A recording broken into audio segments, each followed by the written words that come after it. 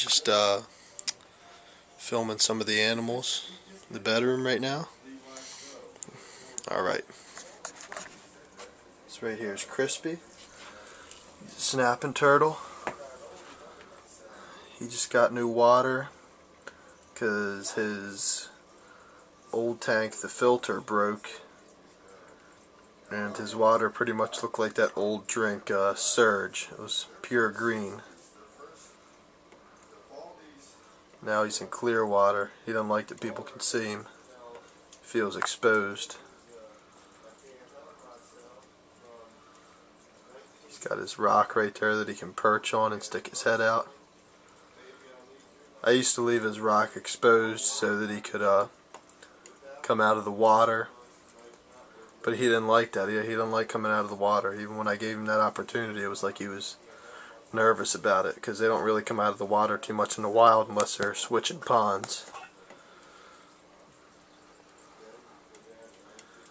I usually feed him uh, some commercial turtle food a couple nights a week and then depending on how much he eats like maybe once every week or sometimes once every two weeks I'll give him tuna or something like that because he can get a real big appetite.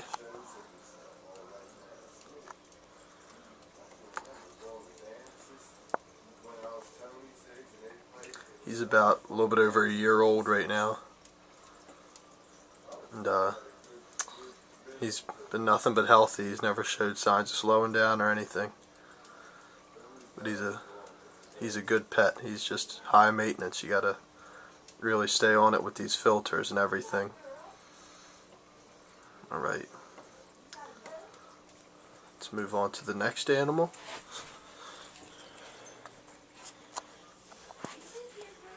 And here we have my snake. His name's Geraldo. He is a black rat snake. Caught him about a little bit over four years ago. Mom saved him when he was outside. The cats were beating him up. He was just a hatchling. And uh, we brought him in. And uh, he's really grown now. He's over four feet, almost four feet long. And uh, he usually eats one frozen mouse. I usually thaw the mice out a week, but during the winter he really cuts back and usually eats maybe at the most two times a month, usually sometimes one time a month because his wild instincts kick in. He's got a small hide box right there, as you can see. He can still fit into there. That's his climbing stick right there. Then right in there, that's his water dish. Usually change that about once a week, give him fresh water. Because usually he'd be drinking from a stream. He's pretty active right now. He's got a dome light right up there that shines through. I'm going to get a fluorescent light installed right in the top part right up here.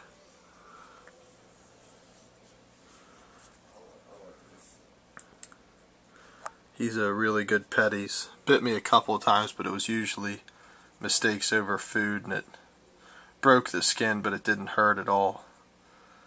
He uh,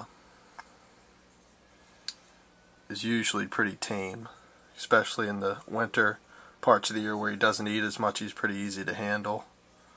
I take him out sometimes.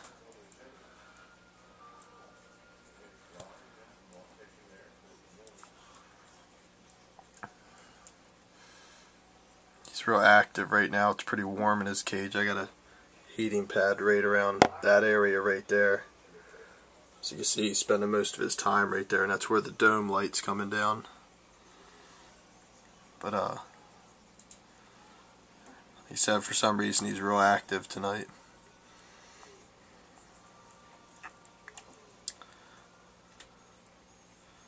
But yeah, he's my oldest reptile right now, and He'll be going on his fifth birthday.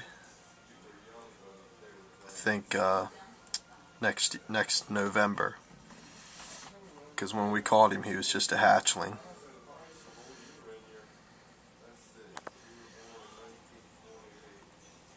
If I had to recommend pet snakes for somebody, it'd definitely be rat snake like this or the king snake species.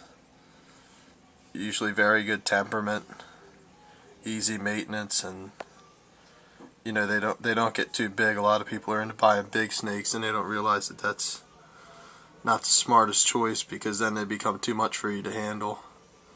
These snakes are perfect. As you can see, he's still got some length to him. It's a back out a little bit. This is a three foot wide cage. And you can see he's not even fully stretched out and he's covering it. So